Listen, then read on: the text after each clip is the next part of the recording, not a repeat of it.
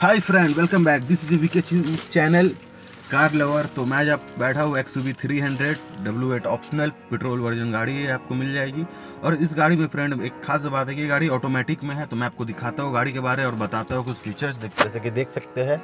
ये फ्रेंड ए गाड़ी automatic and neutral A M में ऑटोमेटिक में चलेगी प्लस करेंगे गियर प्लस होगी एंड माइनस करेंगे तो गियर माइनस होगी।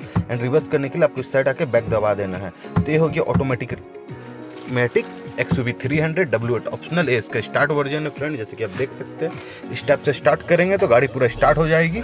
Then X V three hundred बहुत ही फंटास्टिक कार है। अपने सेगमेंट की महिंद्रा की बहुत ही ट्रस्टेड कंपनी है ट्रस्टेड कार है, जैसे कि आप देख सकते हैं एक्स वी थ्री हंड्रेड तो चलिए मैं ऑटोमेटिक में कुछ आपको गियर लगा के बताता हूँ कि जैसे आप देख सकते हैं एक्स वी थ्री हंड्रेड में, आप अगर गियर लगाते हैं तो अभी देखिए यहाँ पे एन दिखा रहा है। जैसे ए एम करके वन करेंगे तो ए एम वन मतलब आपकी गाड़ी मैनुअल में वन गियर लग चुकी है।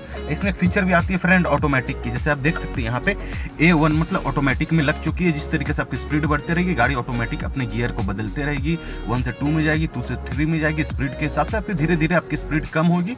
तो गाड़ी फिर अपने आप नॉर्मल में आ जाएगी। अभी मैं इसे न्यूट्रल कर देता हूँ और गाड़ी को बंद कर देता हूँ, जैसा कि आप देख सकते हैं। सॉरी स्टार्ट हो गई है फ्रेंड तो मैं गाड़ी को भी बंद कर देता हूँ। तो आप जैसे ही समझ चुके हैं एक्स वी थ्री हंड्रेड कितनी ग्रेट गाड़ी है फीचर्स गाड़ी है और ऑटोमेटिक में है तो चलाने में आपको बहुत ही आराम और बहुत ही ईजी होगा। बस एक बार इसे समझना है, क्योंकि इसके पैर में, क्योंकि ऑटोमेटिक है तो आप जैसा कि देख सकते हैं नीचे से, आपको यहाँ पे क्लच की सुविधा नहीं मिली है। ये आपका फुट रेस्ट हो गया।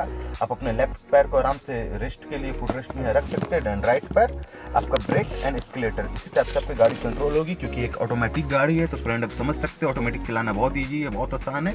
सेम स्कूटी वाला फीचर्स है फ्रेंड तो प्लीज़ फ्रेंड लाइक कीजिए।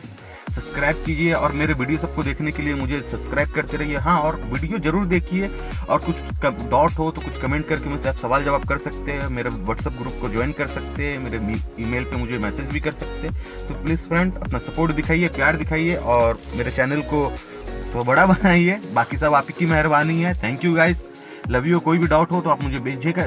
कॉम कमेंट कर सकते हैं, मेरा नंबर भी दिया हुआ, आप मुझसे कांटेक्ट भी कर सकते हैं, मैं व्हाट्सअप ग्रुप में भी जुड़ सकते हैं।